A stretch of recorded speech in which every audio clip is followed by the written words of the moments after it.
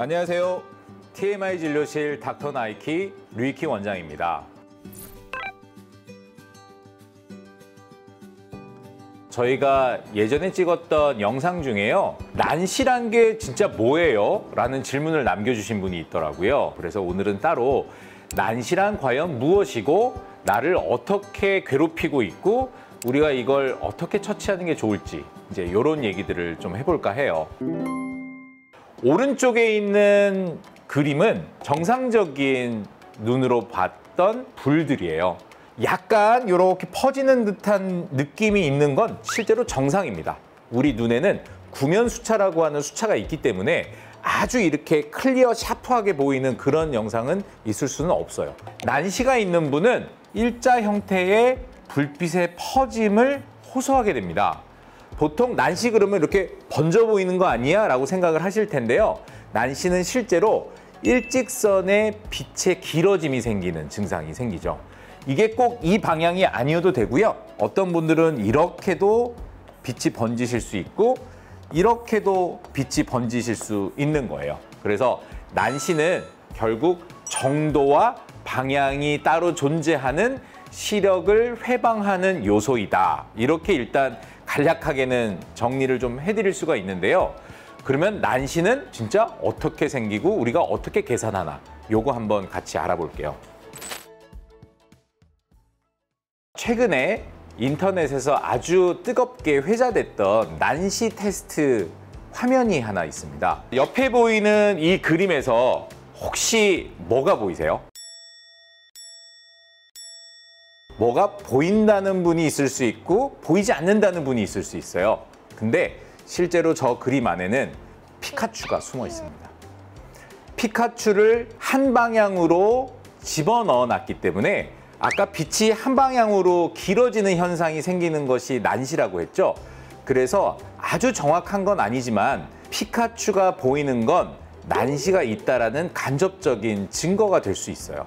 우리 눈은 빛이 들어와서 두 군데에서 굴절이 생깁니다. 첫 번째는 가장 바깥쪽에 있는 구조물 각막이에요. 각막에서 빛이 한번 굴절이 되고요.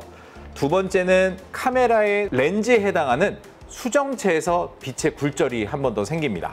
그래서 빛의 굴절은 각막에서 한 번, 수정체에서 한 번 이렇게 생기니까요. 우리가 지금 얘기하려고 하는 난시도 같은 맥락으로 이해를 해주시면 되는데요. 결국 내가 가지고 있는 이 난시라고 하는 것이 각막에서 발생한 난시와 수정체에서 발생한 난시의 합이라고 생각을 하시면 되는 거죠. 그런데 난시는 도수도 중요하고 방향도 중요해서 이렇게 같은 난시를 갖고 있는 경우에도 안쪽에서는 굉장히 복잡한 셈이 발생할 수가 있어요. 첫 번째 환자는요, 전체 난시가 1디옵터를 갖고 있다고 칩시다. 방향은 180도예요. 그런데 이분은 각막의 0.5의 난시 180도와 수정체의 0.5의 180도의 난시를 갖고 있다면 결국 1의 180도의 난시를 갖게 되는 아주 심플한 난시를 갖고 계신 거죠. 대부분의 환자들은 이런 아주 단순한 계산이 잘 적용이 돼요.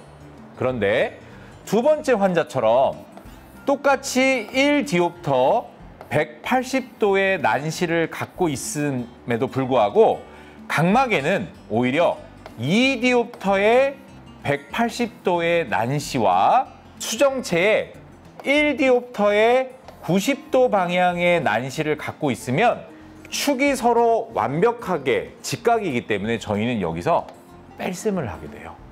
그러면 똑같이 1디옵터의 180도의 난시를 갖고 있어도 이분의 각막 난시만 놓고 보면 이렇게 4배 차이가 있을 수 있는 거고 수정체 난시도 역시 2배가 차이가 나지만 실제로 방향이 바뀐다는 거.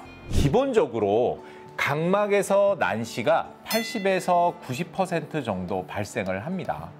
그리고 수정체 난시가 나머지 10에서 20% 정도를 담당하는데요.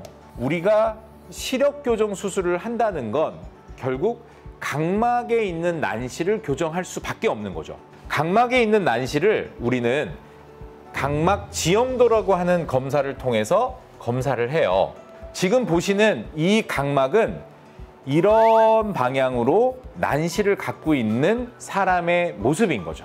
그런데 빛이 들어오면 여기로 들어오는 빛들과 여기로 들어오는 빛은 서로 굴곡이 다르기 때문에 눈 안에서 맺혀지는 초점의 위치가 다를 수밖에 없어요. 이 옆에서 그림을 보시면 이 초록색은 상대적으로 좀 편편한 부분이어서 초록색 경선으로 들어온 빛은 상대적으로 멀리 그리고 빨간색 경선으로 들어오는 불빛은 상대적으로 가까운 곳에 머무르게 되는 거죠. 그러니까 이 간극만큼을 우리가 난시라고 얘기를 할 수가 있어요. 초점이 두 군데에 맺혀지니까 당연히 상이 번져 보이고 이 맺혀지는 위치에 따라서 빛이 어떻게 퍼져지느냐가 달라지는 거죠.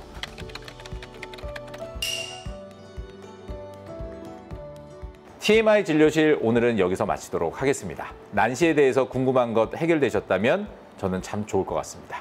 이상 유이키였습니다. 감사합니다.